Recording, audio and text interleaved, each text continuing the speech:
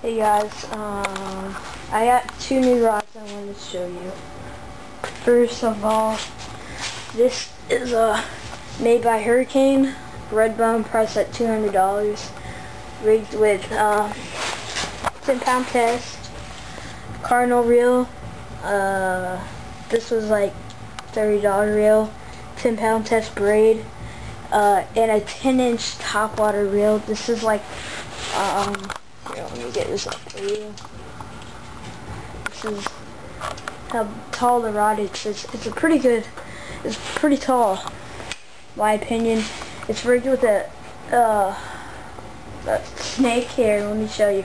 This is actually um, what I recommend for bass fishing for y'all is um, 10 inches top water swirly tail and you just boom boom boom boom on top and bass strikes it okay um, let me move on to my next really good bass rod.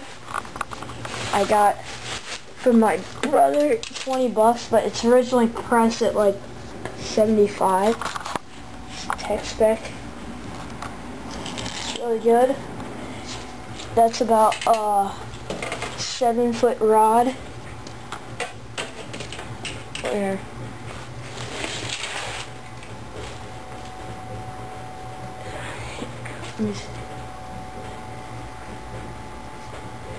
yeah um you can rig it with uh spinning rods or whatever you want spinning reels. Uh, I've caught a couple bass. I was snapper fishing with it though.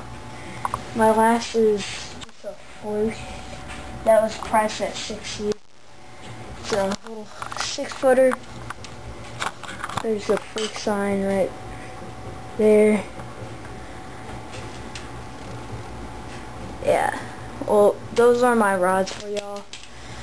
Um check back for some more videos. Bye.